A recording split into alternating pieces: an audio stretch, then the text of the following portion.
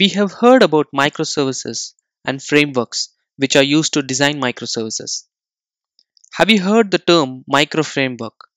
In the last few years, we have seen Spring Boot and Vert.x making the breakthrough with creation of microservices using these frameworks.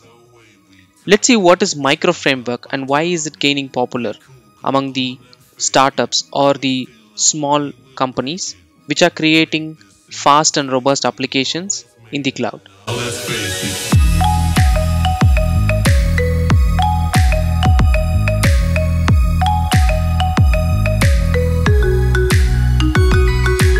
Press the bell icon on the YouTube app and never miss any update from Tech Primers. Micro framework, as the name suggests, is used to refer small web applications with limited set of libraries or features which are embedded inside that particular framework. If you consider Spring Boot, Spring Boot is not a micro framework because it has lots of additional features apart from what we need in order to make a service run just like that right? However micro framework is a term which is used to refer minimalistic web application frameworks. If you take a look at the wikipedia website it also says the same thing. It is just another framework but with minimal features in order to make your application run and get you up to speed in order to develop web applications in order to fulfill your functionality. These frameworks are useful when you're creating APIs which are specific to HTTP and when you are doing API specific development or cloud native development then it is pretty useful because you can get these servers out very quickly. Why people are doing going towards micro framework nowadays? It is due to the evolution of these container based frameworks like Docker and Kubernetes. If you want to create uh, different Docker images, if you provide a Spring Boot application which already has a Tomcat and then you will have to create an image, it provides lots of features for that particular small microservice. However, if let's say your service is specific or bound to only a particular set of domain or a particular set of feature, then you can go for micro framework where you know what you have and you will be using what you need so that way you will have a minimalistic application. And with the introduction of serverless architecture it is necessary for an application to come up very quickly. If you take a example of spring boot it takes a while to come up. However Vert.x is faster than spring boot in order to make your system completely boot up within seconds. Micro frameworks are ahead of Vert.x as well. It is much faster because if you need a serverless architecture and if you go to Amazon Lambda or function as a service provided by Pivotal, then you will have to make sure your applications are much faster and they can be spawned within seconds. So in order to go there, micro frameworks are required. If let's say you are creating a service which is just going to provide a specific functionality and you don't have to keep that running always, then you can create a microservice with the help of micro framework. You can choose any of the frameworks which are available out there in this video, we are going to see five different frameworks which are popular and it is used in the JVM. The first one is called Micronaut. Micronaut is another JVM based framework. It has also the support for UI. It is a completely full stack framework. However, it is a micro framework. You can either use Java, Groovy or Kotlin in order to create this particular application, right? This is an example of how you will write code inside Micronaut. It exactly looks like Spring Boot or in fact Spring MVC to be specific. However, you don't get heavyweight features like how Spring does, like the Spring's interceptors and stuff like that. It is very basic and it just gets your server up and running as quickly as possible. So these are similar examples of how you can write and then test your application. See, this is a test, how you can write a test. This is a specification test which you will be writing in Groovy or in fact you can write it in Kotlin as well. So it has a native support for Java, Groovy and Kotlin. All these are JVM languages. So if you are familiar with any one of these, you can choose from that. It also provides native cloud support. So if you're creating Micronaut framework, then you can easily integrate that with any of these cloud platforms. It also has seamless support to other uh, design patterns, for example, Eureka and Zipkin as well. If you need to connect to the databases or any external sources, then you will have to configure these and then you will have to use the toolkits or the libraries which are available.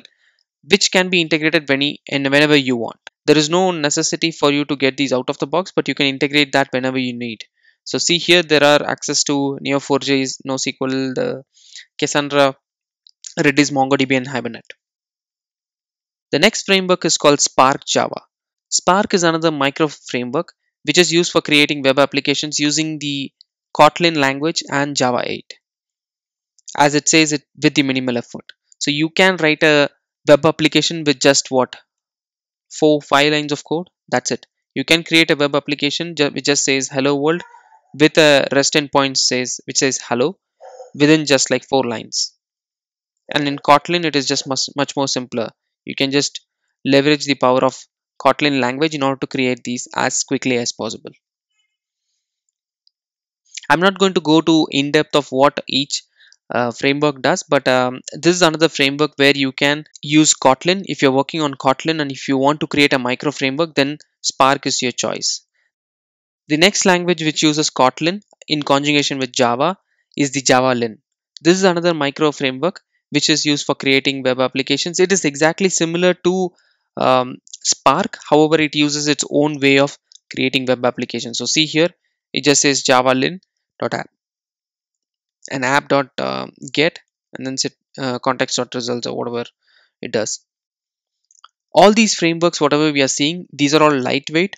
The only difference would be the way they are implemented, the way you can use them, the way adoption has been gone through in these open source frameworks. So this uses a declarative style for creating your application. This is similar to how Vert.x is written, right? It's it's like a build-up pattern, and then you can create your uh, routes and paths and stuff like that. The next one is called Tor. I don't know how do I spell it, Core or Tor, uh, however you want it. This is again a merger of Kotlin and Java. However, you will be writing it in Kotlin specifically. So it will be running on the JVM, but you will be writing completely in Kotlin language. See this, this is an example of a Kotlin file.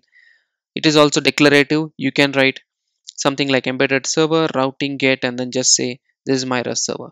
So all these frameworks are very simplistic. You will be writing in a simpler fashion with no fancy annotations or no fancy configurations or something like that. The idea of these frameworks, as I said earlier, are to make your applications flexible and simple and fast enough to boot within seconds. So Tor is another framework which uses Kotlin language specifically. So you will be writing code only on Kotlin in this.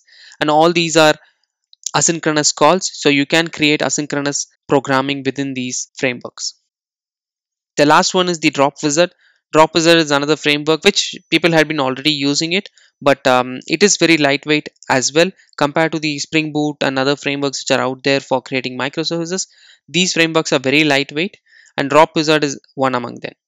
It also has lots of support towards configuration, application metrics, monitoring, logging, etc. So this is just a basic video of understanding what is micro framework and why we need micro framework and what are the different micro frameworks which are available out there. Not all these micro frameworks are used by enterprise applications or enterprise firms. These are newly created and these are evolving. People are trying out and since serverless free serverless frameworks and the container based frameworks are in evolution these frameworks are adopted very slowly. Once we get serverless architecture and container based architectures more popular we will be able to see these frameworks evolving in due course of time. If you like the video go ahead and like it. If you haven't subscribed to the channel go ahead and subscribe to it. Meet you again in the next video. Thank you very much